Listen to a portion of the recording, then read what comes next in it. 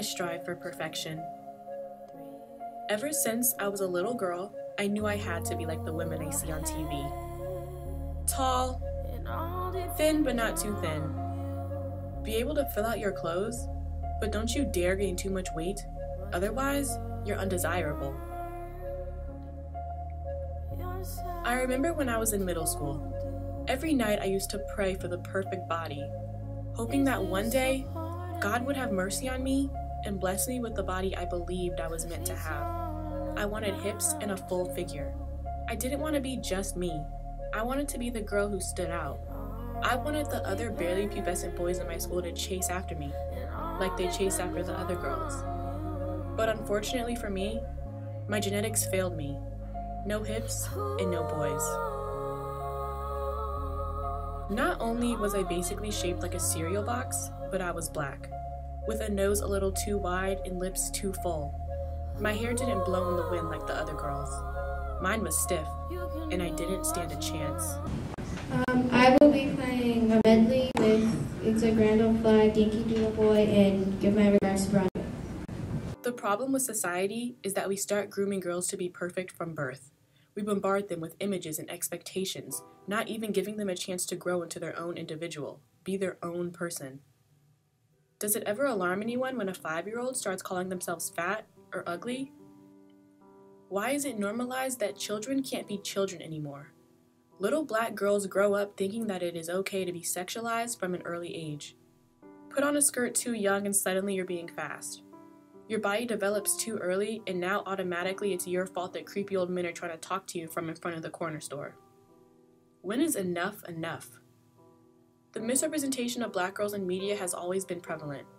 First, we were Mammy and Jezebel and Sapphire, and now we're on reality TV.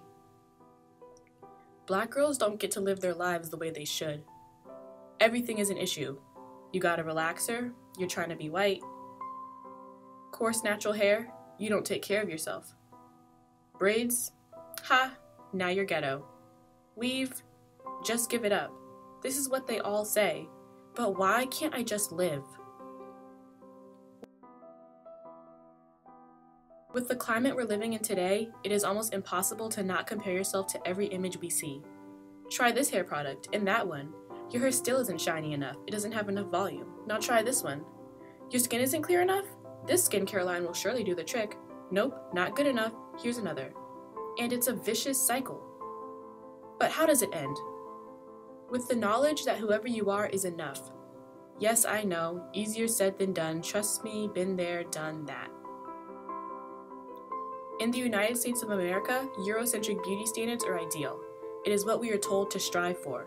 And when we don't meet these expectations, we are left feeling not smart enough, thin enough, worthy enough. When we as humans gain the knowledge that not everything is black and white, that beauty does not have a right and a wrong, then we grow. We are born into our bodies. We start as a blank canvas and we mold them into what we believe we are or should be. If augmenting your body is the course you take, then great. Hopefully, you do it for yourself and not for the approval of others. Our bodies are ours, no one else's. Nourish them, refresh them, appreciate them. We only have one body, and this journey of love and acceptance is never over. We just need to have the power to keep moving forward.